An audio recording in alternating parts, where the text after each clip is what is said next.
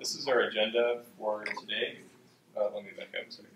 So I'm Connor. Uh, this is my colleague Balaji. We're working in the uh, software-defined infrastructure group at Intel, um, and we've been working on in the Kubernetes community for the last uh, few months so far. Um, so we've got two main topics tonight um, that are recent additions yeah, to the base. So the first one is called Node Feature Discovery, which was hinted at um, in the previous talk about NVIDIA resources. Um, and then our next topic will be opaque integer resources, which is a way to extend, um, a, kind of a first step of a way to extend the resource model in Kubernetes. We'll talk more about what that means. So um, we'll finish up with some future work. So without further ado, I'll hand over to Balaji, who will talk about node feature discovery.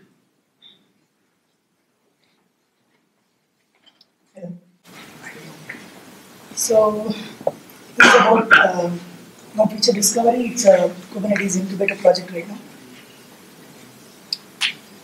So um, we want to expose uh, the uh, heterogeneity in terms of hardware features and platform configuration uh, to users so that they can um, uh, place some specific scaling constraints uh, when they want to land on nodes with certain features or platform configuration. So all nodes are not the same in the cluster, so uh, we want to enable users to express preference for certain hardware um, or other features or platform types. So that is what we are trying to solve here. So the project is uh, about discovering hardware features and configuration on a Kubernetes node, and it exposes these discovered features and configuration for workload scheduling. So uh, it works by deploying a discovery container on each node of the Kubernetes cluster. The container discovers some hardware features and some configurations and adds a label uh, for each of these discovered features and configuration. So this is how the CLI looks. Uh, we expose some options. So basically, there is a set of sources or feature sources uh, that we have. So there is a default set of features. One is CPU ID, uh, and then the P state, and then RDT. There is also a dry run mode which, which uh, you can use to just uh, uh, not publish labels to the API server, and also there is a white whitelist option wherein you can run the uh, node feature discovery software in a dry run mode and then choose what labels or features that you want to expose in the cluster, depending uh, using the label whitelist option. So the node labels that are uh, advertised uh, contain certain information in them. One is the namespace. Right now the namespace is that, and um, a prefix to denote that uh, it was it was the, the label was advertised by NFD or feature discovery, and then the source of each of the label, for example, CPU ID, uh, and then the discovered feature. It could be AVX or AESNI um, from CPU ID.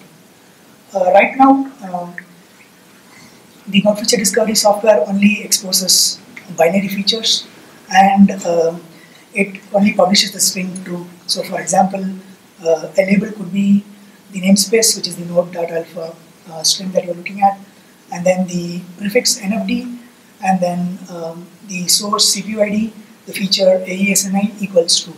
So if it exists, it'll, it'll be just uh, advertised with that label. Yeah. So, so his idea of the source is to make it hierarchical, like, like so that, like the source plus the name is like it's sort of like two levels of a hierarchy, or why, why do you have why? What is the purpose of the source part?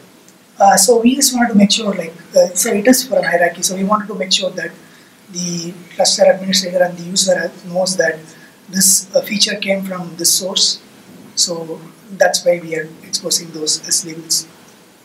It's also used, sorry, um, so the label whitelist is a regular expression, so it's something you can hang off of when you're filtering things. So you can say like everything from the source, but Yeah. not everything from the source. Yeah. Okay, I see. Uh, we'll start with a simple illustration. So um, you create the discovery job, the discovery pod lands on each of the nodes of the cluster, uh, and then it uh, advertises a bunch of labels depending upon what it discovers on each of these nodes. So uh, with that, I would like to show a simple benefit of feature discovery uh, with an example feature, which is turbo boost or turbo mode, which is overclocking of CPUs when there is thermal headroom. Um, and we'll be using an existing scheduling feature, affinity and anti-affinity, which um, David uh, talked about in his uh, talk. Um, first thing uh, is simple illustration of affinity to a feature. Uh, this is Turbo Boost. Um, the setup is like we have three hosts and uh, we run a single benchmark 10 times on each of these, uh, so 10, 10 times across the cluster um, with and without affinity and show the performance benefits of um, having these features exposed. So the benchmark that we run is uh, a Ferret benchmark from uh, Parsec benchmark suite, and it does an image similarity search. Uh, so uh, this is how you uh, use a node selector. So for example, uh, you want to land this pod on a node which has turbo boost enabled. So you want to land this pod on with that node selector. So so first thing is we, when we create a pod uh, without affinity, uh, it can land on any node. But if you create a pod with affinity, uh, it will land only on the host which has turbo boost enabled. So, so the hypothesis here is that uh, two-thirds of the time the pods will run on nodes without turbo boost, uh, without affinity. So we expect to see performance improvement and reduction in performance variability as well. Because of our affinity to certain feature. So this uh, this this just shows a box box plot on the y-axis. You see uh, percentage variation in uh, normalized execution time, uh, zero being the best performing uh, application. Uh, so on the left hand side, you see a pod running with discovery, that is affinity to turbo boost in this case, and then without discovery. So you see that the there is also not only there is a performance improvement, but also the the performance variability is also reduced across the 10 runs that we run. Next is a simple illustration again uh, with respect to anti-affinity to a feature. Again, we use the same feature, TurboBoost. Uh, the benchmark used is uh, from uh, Mantevo benchmark suite. It's a mini app which uh, simulates hydrodynamics equation. So the methodology is again the same. Uh, we run the pod 10 times with and without anti-affinity, and then we show the uh, performance results from from this uh, experiment. So this is a simple illustration of how do you how you specify anti-affinity for a feature. Um, so again, like we create a pod without anti-affinity, uh, it will land on any of the hosts. But if you create a pod with with anti-affinity, it will land only on the uh, two hosts where turbo boost is not enabled, and um, the hypothesis is that one third of the time this pod will run on nodes without um, turbo boost enabled, and uh, you expect to see similar results.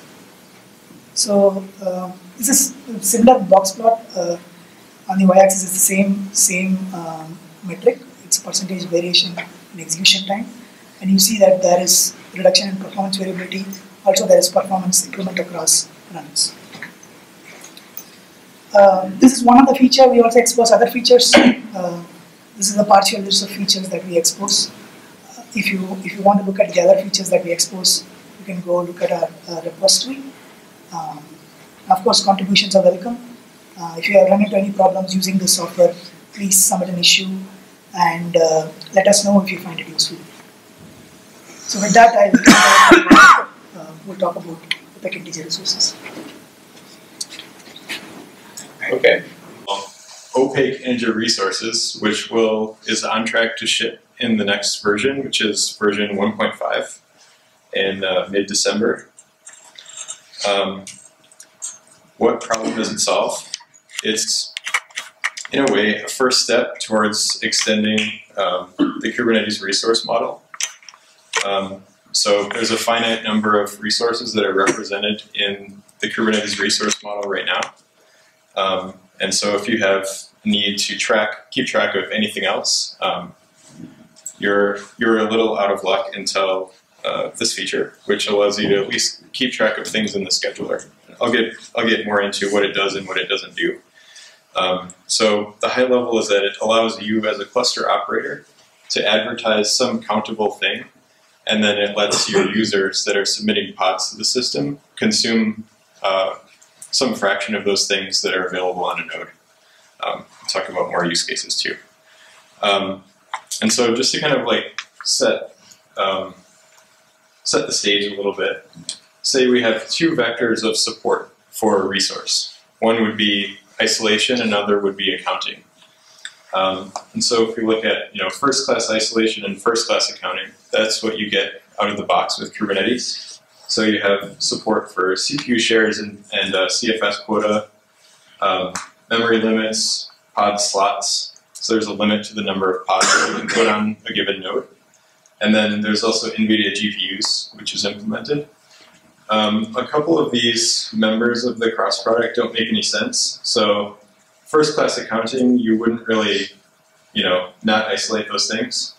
And then things that the system doesn't know about, you wouldn't have isolation for those things. But in this space over here, that's probably where we may want to um, add some extension, extensibility mechanisms. And that's the space that OIR fills. And in particular for phase one, which is what is implemented in 1.5, it's the far right slot.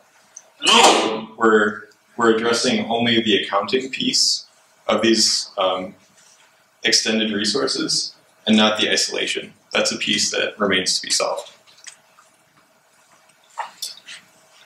Uh, so what is it? It's support for a custom case of special resources.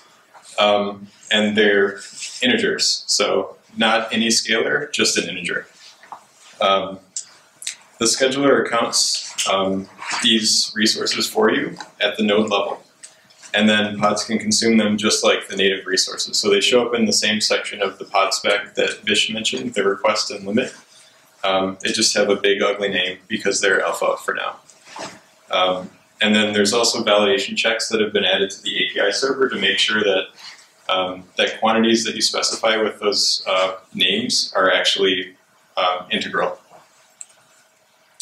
Um, okay, so jumping into the mechanics, I guess this assumes a little bit of knowledge about how um, about how Kubernetes works at a low level, but we'll walk through uh, an illustration of the, of the, process after this. So. Um, so the first thing that happens is that you submit a patch request over HTTP to the API server and you're you're actually patching the uh, the node object, um, which is a, a, resource in the API server, to add an opaque integer resource. So you say this capacity, you know, that previously didn't include this thing, now it has 10 bananas. Um, and then the node allocatable resources are updated when the kubelet does its periodic sync with the API server. Um, so it does its sync, it looks at the API server, it sees that it has some extra capacity that it didn't see before, and it copies that quantity over to allocatable. Um, and the reason to do that is to avoid a data race with the scheduler, um, because the scheduler is actually looking at the allocatable field um, to see if pod, a pod fits, but the node is going to check that again when the pod lands there. So if the scheduler sends a pod before the node knows it has that capacity, it'll get rejected. So um, that's just a way to avoid uh, flapping pods unnecessarily. Um, and then the third part is that the scheduler allows pods to consume those resources. So it's a you know it's a little extension in one of the predicates that David mentioned, um, just to make sure that you know the the capacity I've already handed out isn't exceeded when you try to land that pod on that node. Um, and then, as mentioned before, the API server does a little bit of validation. Oh, okay. Uh, so the setup is as before. We've got three nodes, and first step is going to be patching the node capacity. so we issue an HTTP patch, and we're saying that host 2 now has um, some quantity of uh, opaque resource. And then the kubelets sync with the API server, and now host 2 knows about the capacity that the operator has advertised for it. Um, so we actually have a small video of what this looks like. So, did you want to? Sure. Can I see this? Okay, perfect. Maybe I can make it.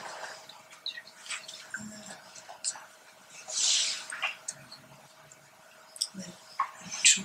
So I'm zooming in.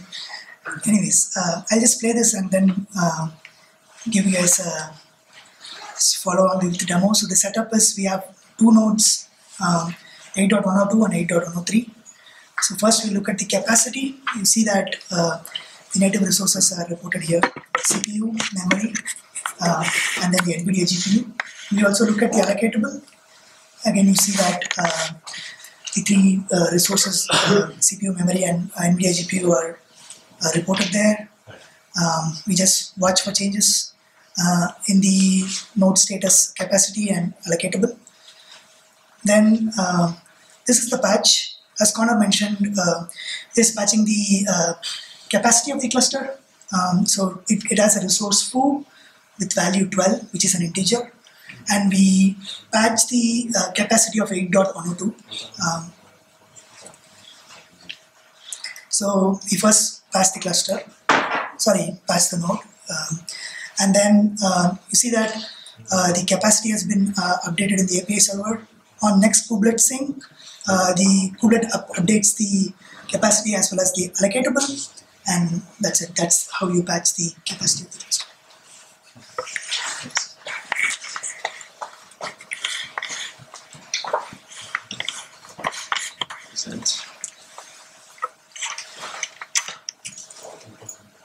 Okay, um, so step two is scheduling. So starting with a clean cluster, um, we create a pod that has the request for some for some quantity of that opaque integer resource. Um, and at that point, since there are no nodes with that resource, the pod goes pending. Just as if you had run out of CPUs or memory or, or whatever else you're keeping track of.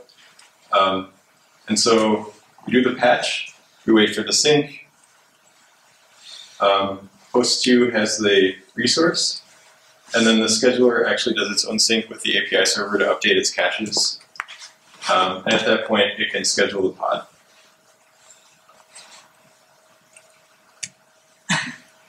Uh, yes, the pod goes running. Um, we can see that in action in uh, this next small video. It's done. Almost done.